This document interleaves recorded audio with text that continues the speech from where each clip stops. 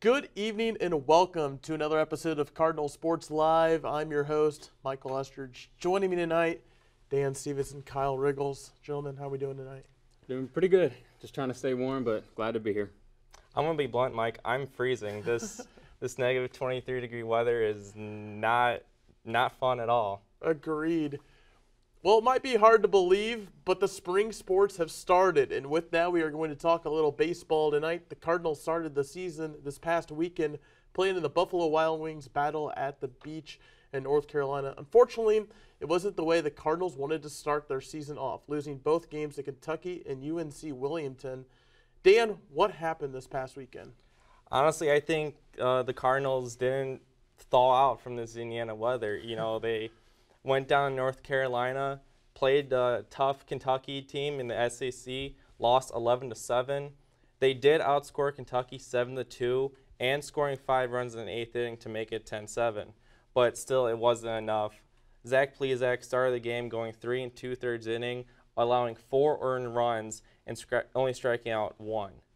But Sean Kennedy and Alex Call did perform at the plate, both going 2 for 5 Kennedy going with one RBI and two runs.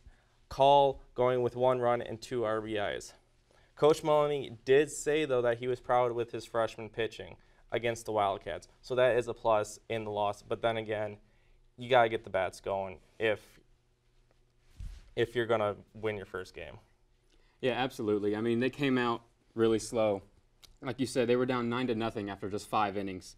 And they made a couple rallies late, but they weren't really able to battle back enough to pick up a win. And Plesac didn't really come out with the performance that we were expecting from him.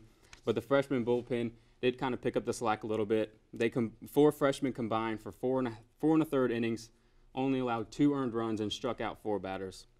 But I mean, really, we just got to work on building up a lot faster and not letting ourselves dig, get dug deep in a, a deep hole.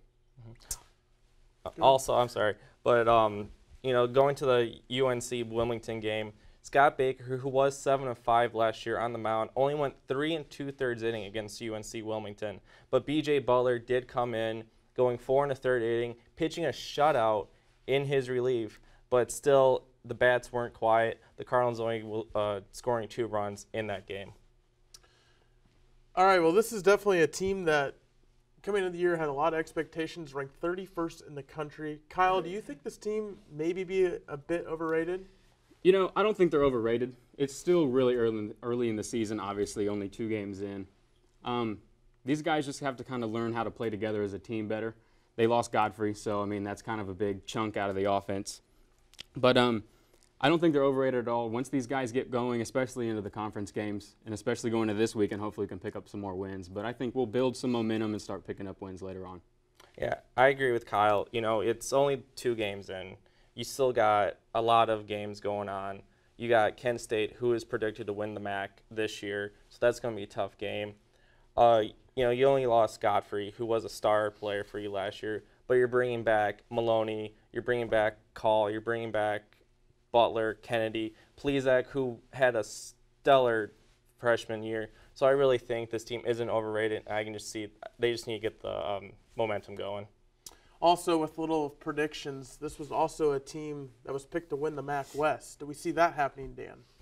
I do. I really do. I mean, as I said, you're bringing back all your players. You're bringing back all the players I said earlier, and you're bringing in freshmen that can bring that momentum in and also you're defending a MAC, MAC title, so you're going to have that going for you, a little boost of confidence going into the season.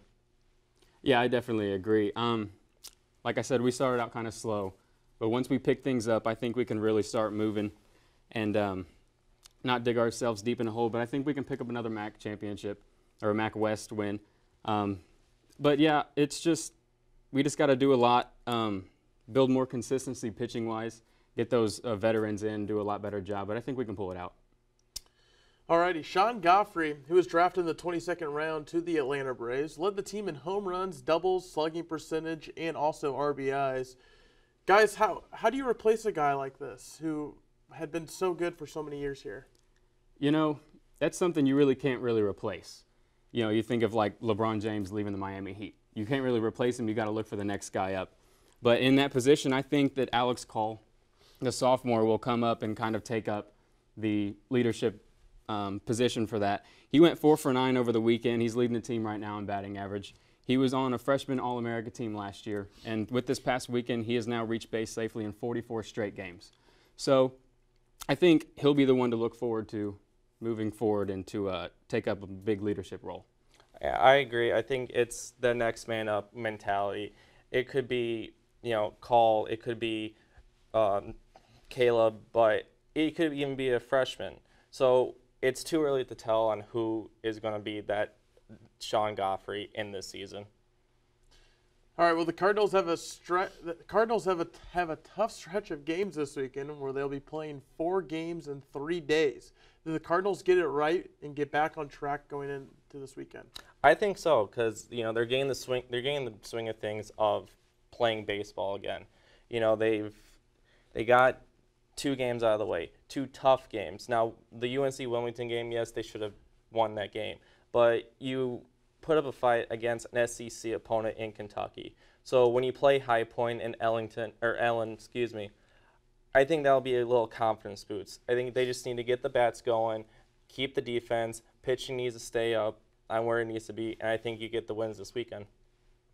Yeah, I definitely agree. Uh, we play High Point on Friday and Saturday. Those, I mean, they're a decent team, but I think we can pull out with wins there. Elon is going to be our big battle. They won all three games over Penn State over the weekend. They scored 34 runs through their first three games. And Chris King, he won their conference player of the week. He batted 7 for 13 with three doubles, a home run, and eight RBI. So that's going to be a big challenge for us, but hopefully we can get the bats moving and pick up some wins. All right, well, that's going to do it for us here in Studio B, but make sure to tune in next week for another episode of Cardinal Sports Live web show. I'm your host, Michael Usher, and remember, we are Ball State Sports.